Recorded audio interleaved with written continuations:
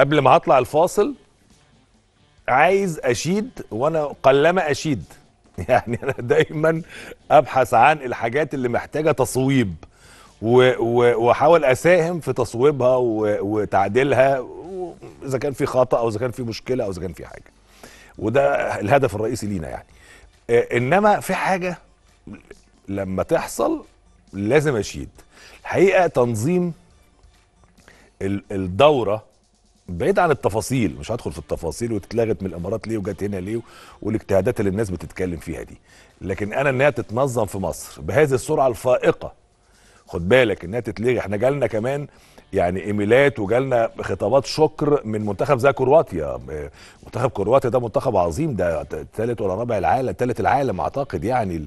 كأس العالم اللي فات المغرب رابع وكرواتيا ثالث واللي قبليه كان تاني كان فاينل. مودريتش والمجموعة الكبيرة اللي موجودة معاه يعني. فخطاب شكر موجه لينا آه، آه، بإنقاذ هذه الدورة بهذه السرعة الفائقة واستضافتها في القاهرة. ده شكر موصول ولازم يتقال. مش هقوله لاتحاد الكورة. اتحاد الكورة طبعا هو الأمبريلا وكل حاجة. بس هقوله للمتحدة آه، للرياضة. أنا شركة المتحدة دي اللي طبعا برزنتيشن والمتحدة والشركات اللي هي موجودة دلوقتي هي ال ال الواحد يقعد يراقب ويشوف ويعمل وبعدين عشان يبني رأي نهائي. يعني ممكن تكون المتحدة آه، آه، بتشتغل بحكم إن ملهاش منافس في مصر مثلا بنفس الإمكانيات والقدرة. لكن لما تلاقيها تاخدك في حاجات بقى وتبتدي تنقل كرة القدم المصرية لآفاق خارجية. يعني شفنا بقى إيفنتات رهيبة جدا دلوقتي لينا في السوبر في الإمارات والسوبر يتحول من مباراة لدورة من أربع فرق زي آخر مرة بكل ال- الهلمة اللي إحنا شفناها دي. وبعدين في السعودية نشوف النجاح المبهر اللي ساهموا فيه أشقائنا في السعودية مع المتحدة للرياضة في نهائي كأس مصر. بهذا الشكل اللي كان الحقيقة حديث الدنيا كلها في الكام يوم لغاية ما المباراة انتهت. وبعديها كمان الفيدباك كان رهيب جدا. وبعدين دلوقتي لما تيجي تعمل دورة زي دي تحت إشراف الفيفا ويبقى اسمها كمان بالنسبة لنا اسم يعني آه، مهم دورة العاصمة الإدارية. فدورة العاصمة الأولى في دي خد بالك مع إمكانيات رهيبة بنتكلم عنها. الحقيقة في العاصمة الإدارية الاستاد وال وال والمدينة الرياضية والشغل الكبير اللي حاصل. وأنا بقول هذا الكلام وأنا يعني آه، آه، آه، بقناعاتي لأن أنا عارف إنه أنت عشان تخش ال field ده وتعمل marketing في الرياضة بهذا الحجم الضخم مش سهل. في ظل منافسة رهيبة على مستوى الوطن العربي على مستوى العالم. شركات ضخمة جدا جدا هي اللي بتخش الرعايات. انت بقى عندك ضلع دلوقتي في المنطقة مهم جدا وبقى مؤثر جدا وأنا مش هست... مش هستبعد ولا هستغرب لو أنا لقيت بعد 3 4 سنين المتحدة للرياضة مثلا بترعى دوري بره. مش يعني مش مش مش هندهش. أنا عن نفسي الخطوات اللي شغالين بيها دي أصدقائنا طبعا م- محمد يحيى وسيف الوزيري ومحمد يحيى هو رئيس مجلس إدارة المتحدة للرياضه وسيف النائب بتاعه وحتى في Presentation سيف هو رئيس مجلس إدارة ومحمد يحيى النائب بتاعه عاملين مع ال staff اللي موجود ده لما كمان بكلم الناس اللي بيبقى لهم شراكات معانا خارجية سواء في الإمارات أو في السعودية أشقائنا في الإمارات أو في السعودية هم بيتكلموا الحقيقة بشكل مثير جدا ومبهر على المجهود اللي بيتعمل. فلما ألاقي دورة بتتعمل واسمها العاصمة الإدارية واظهار وإبداعات وإمكانيات الإستاد بتاع العاصمة اللي أنا أتمنى إنه يستضيف ال- البطولة. يعني حتى الآن هو الكلام في استاد القاهرة ولا في استاد العاصمة؟ هي خلاص اسمها بطولة العاصمة الإدارية البطولة الأولى. بالنسبة لنا وإن شاء الله تبقى يعني كل سنة عندنا دورة أو بطولة اسمها بطولة العاصمة الإدارية بإذن الله يعني. سنويا ونستمتع كلنا كجمهور بيها. خد بالك انت جاي لك كرواتيا وجاي لك آه، تونس وجاي لك نيوزيلندا. يعني سيبك بقى أنا حتى بنتكلم على الصدمات والأهلي والمنتخب واللعيبة ونعمل إيه. سيبك من ده كله بقى ونستمتع بالمباريات من الناحية الفنية والنجوم اللي هتبقى موجودة في الماتشات دي.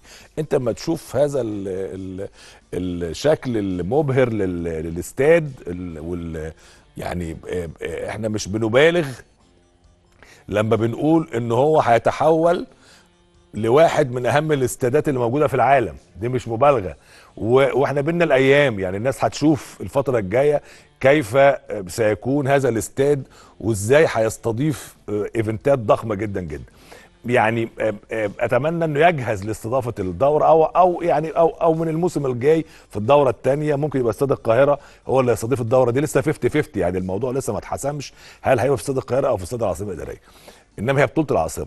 فهنا الحقيقة لازم لازم نفخر بالإمكانيات الضخمة اللي بقت عندنا في المنشآت الرياضية وآخرها العاصمة الإدارية واستاد العاصمة الإدارية. وأنا بتكلم بحكم إن دي دورة في كرة القدم فأنا بتكلم على الملعب الكرة واستاد الكرة إنما هي مدينة فيها آه، يعني ملاعب ضخمة جدا وفيها يعني آه، آه، بنية تحتية رهيبة.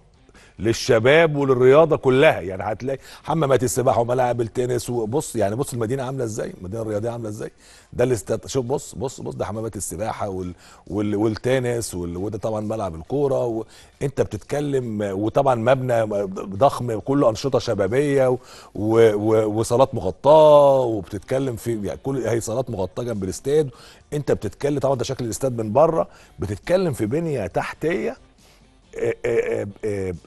ضخمة جدا بقت موجودة عندنا تسهل استضافة إيفنتات كتيرة جدا كبيرة وضخمة جاية إن شاء الله بإذن الله يكون أولها استضافة الدورة الأولمبية بإذن الله 2000 يمكن تكون 2036 2036 بإذن الله. فده من ناحية البنية التحتية. فالشكر كمان للمتحده للرياضة اللي وأنا بقول هذا الكلام والله أنا لا, لا, لا يعني أنا من من المتابعة اللي موجودة في الفترة في الأيام الأخيرة أنا ولا حد اتكلم معايا ولا أي حاجة. أنا بقول إن يبقى عندك شركة تستطيع النهارده إن هي تضع أقدامها بقوة ورساخة أقدام راسخة في التسويق الرياضي بهذا الحجم ثم تنتقل من ال من ال من الداخل للخارج وخد بالك انت بتتكلم بقى بجانب ال marketing ده مش قصة ان الأهلي ياخد فلوس والزمالك ياخد فلوس والمنتخب ياخد فلوس و... لا انت بتتكلم كمان في اقتصاد رياضي أو أو أو تسويق رياضي هو أساسا مساهم في الاقتصاد المصري. لأن انت لما بتعمل ايفنتات كبيرة وبتعمل بطولات كبيرة وتخش عملة صعبة بضخامة وتخش في حاجات انت بتنتقل كمان لفكرة جديدة أو مرحلة جديدة من التسويق الرياضي. فالحقيقة أنا لن استبعد وأنا بقول لك اهو ده البوستر بتاع البطولة اهو طبعا قدامنا. آه، نجومنا آه، طبعا وخد بالك هي البطولة تحت مظلة الفيفا كمان. ف ف ف فأدي يعني آه، كرواتيا ومنتخب مصر ونيوزيلندا ومنتخب تونس موجودين. طبعا ده مرموش أعتقد مش ده مرموش وده مودريتش اهو والنجوم بتوعنا في في, في هذه الدورة. ف آه، وتحت مظلة الفيفا. الفيفا كمان بيعمل دورات دلوقتي مجمعة عشان بيبني الفكرة قادمة في المستقبل. يعني على فكرة ال ال الأمم الأوروبية اللي على مدار السنة دوري الأمم الأوروبية اللي أنتوا شفتوه ده على مدار السنة الفيفا عايز يعمل حاجة كده على مدار السنة. فالحقيقة وجب الإشادة. وجب الإشادة. وأنا بقول لكم مش مستبعد إن إحنا عندنا شركة زي المتحدة للرياضة في المستقبل. والله أنا مش مستبعد ده. خلال سنتين ثلاثة أربعة تبص تلاقي بترعى حاجات خارجية ممكن حتى ما نكونش إحنا أطراف فيها. يعني يعني تلاقي مثلا بترى حاجة في الدوري السعودي بترى حاجة في الدوري الإماراتي بترى حاجة في أفريقيا بترى حاجة في أوروبا بتعمل أو جايبة أو جايبة راعي الانديه كبيرة في أوروبا وتبقى هي المنسق ليه كل الكلام العظيم ده. فانا متوقع يحصل في ظل الخطوات القوية اللي بتحصل الحقيقة خلال هذه المرحلة. ففخر كبير جدا إن يبقى عندنا بنية بهذا الشكل. فخر كبير جدا إن يبقى عندنا آه، تحول في فكرة التسويق الرياضي بهذا الشكل. ففخر كبير جدا إن إحنا ننطلق بدورة اسمها دورة العاصمة الإدارية الأولى وإن شاء الله تبقى مستمرة في الفترة الجاية وأتمنى إنها تكتمل بنجاح المنتخب بتاعنا في تحقيق أهداف الكابتن حسام حسن مش مهم نحقق اللقب بتاع الدورة يعني لكن المهم تتحقق أهداف الكابتن حسام حسن خلال الفترة القادمة لأنها فترة مهمة جدا بالنسبة لمنتخب مصر واللي بتسبق الماتشين بتوع تصفيات كأس العالم. هطلع فاصل سريع. هنتابع آه، آه، آه، بعض التقارير اللي خاصة بالمنتخب والنادي الأهلي وكمان دوري أبطال أوروبا وكثير من التقارير. يعني ثم نلتقي في الفقرة القادمة مع نجومنا. كابتن سيد معوض كابتن محمد عبد الجليل وكابتن بشير التبعي.